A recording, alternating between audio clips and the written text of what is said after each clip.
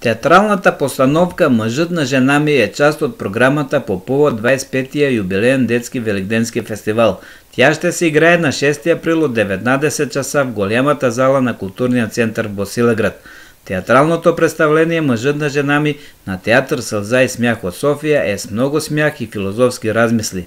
Босилеградските зрители ще гледат новата постановка на Мариус Куркински, в която сериозните неща од живота са погледнати од смешната им страна. Това е разказ за оцеляването на една жена, изоставена още като дете. Главната женска роля е поверена на Мария Сапунджиева, а в ролите на мъжете, които се борят за любовта и се являват Ненчо Илиев и Кирил Евтимов.